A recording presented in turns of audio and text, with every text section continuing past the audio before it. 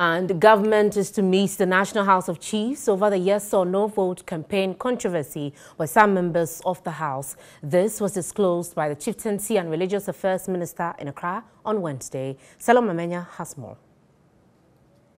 President of the National House of Chiefs, Togbe Afede the 14th, and his vice, Dasebre Nana Kwebu Ewusi the 7th, in a statement on Friday, November 15, indicated the traditional rulers backed a no vote advocating the outright rejection of the proposal to amend Article 55.3 of the Constitution.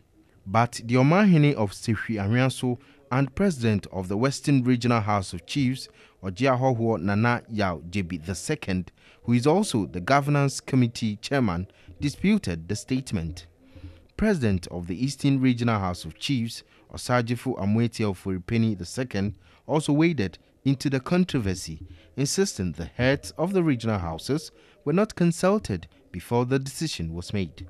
But the sector minister says government will meet the National House of Chiefs on Wednesday, December 12 on the matter.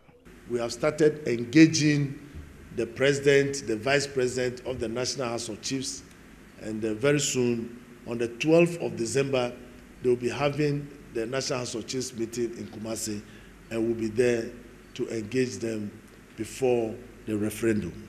On chieftaincy disputes, he noted 142 cases have been resolved, leaving 360 pending.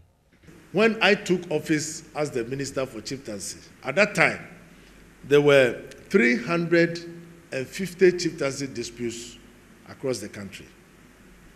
After three years, we've been able to resolve 100 and 42 chieftaincy disputes. But as I stand here, we still have 360 chieftaincy disputes to resolve. So it simply means that it is increasing more than we can handle.